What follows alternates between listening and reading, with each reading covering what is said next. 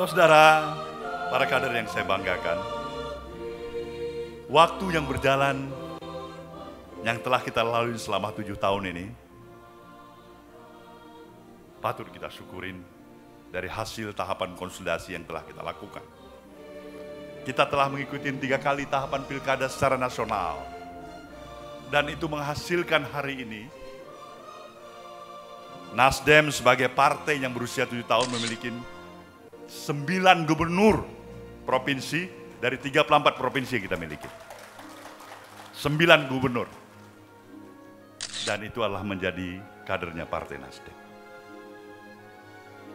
198 kepala daerah kabupaten kota berserta dengan wakilnya.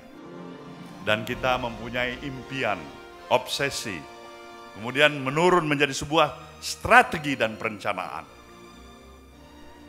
Misi besar kita adalah tetap ingin membawa gerakan perubahan restorasi Indonesia.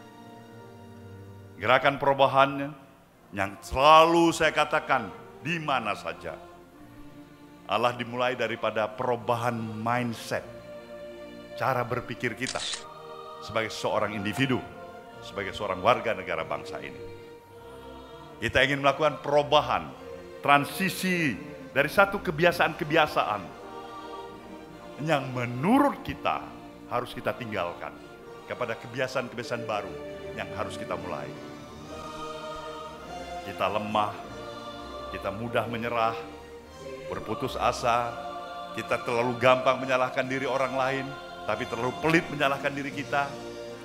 Kita tidak rajin kita tidak menimbulkan suatu komitmen atas etos kerja kita.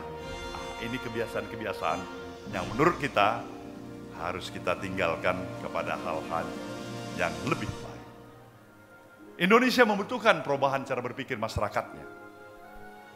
Karena kemajuan satu bangsa amat ditentukan sejauh mana tingkat peradaban yang dimiliki oleh bangsa itu.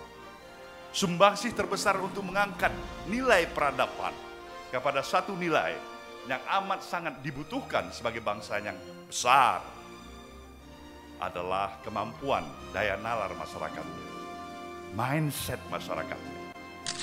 Maka tidak ada gunanya kemajuan teknologi informasi yang kita miliki ketika daya nalar, kemampuan persepsi pemikiran kita tidak mengiringi kemajuan dan modernisasi itu. Inilah sekarang yang sedang terjadi di negeri kita Negeri kita hari ini memerlukan sekali semangat untuk membangun kesadaran. Kesadaran kita sebagai anak-anak bangsa ini. Kesadaran kita untuk ikut memerankan fungsi, peran, tugas dan kewajiban kita sebagai warga negara. Di alam kebebasan, di alam sistem demokrasi yang kita miliki seperti ini.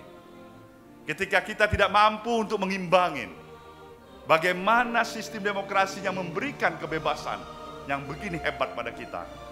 Maka kebebasan yang kita peroleh dan yang kita miliki tidak memberi manfaat bagi kemajuan kita berbangsa dan bernegara.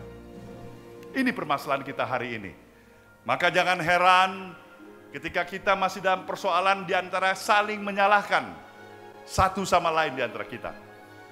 Kita sepakat untuk menghadirkan pemilu sebagai salah satu konsekuensi sistem demokrasi yang kita miliki di suatu negara demokrasi. Setiap lima tahun kita melakukan pemilihan umum. Itu adalah merupakan kesempatan yang diberikan oleh konstitusi kepada rakyat untuk bisa mengevaluasi, menilai sejauh mana sudah peran para pemimpin-pemimpinnya Baik peran pemimpin yang duduk di dalam eksekutif pemerintahan maupun peran pemimpin-pemimpin yang duduk di dalam lembaga legislatif. Ingatlah, bangsa ini telah memberikan kesempatan bagi kita lahir dan dibesarkan oleh negeri ini. Sejujurnya, negeri ini bisa memberikan kebanggaan pada kita dan kita sekarang telah memberikan kebanggaan itu.